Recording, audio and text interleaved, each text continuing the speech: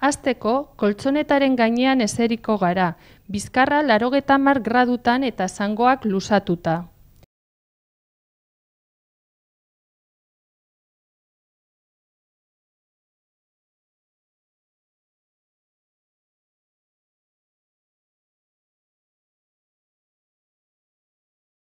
Zangoak berrogeta bost graduko angeluan zabalduta, bi eskuekin oinera iristen saiatuko gara, belauna tolestu gabe.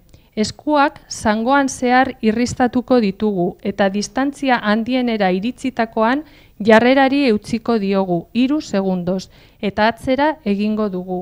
Ariketa bera beste zangoarekin egin aurretik, bost segundoko atzedena hartuko dugu.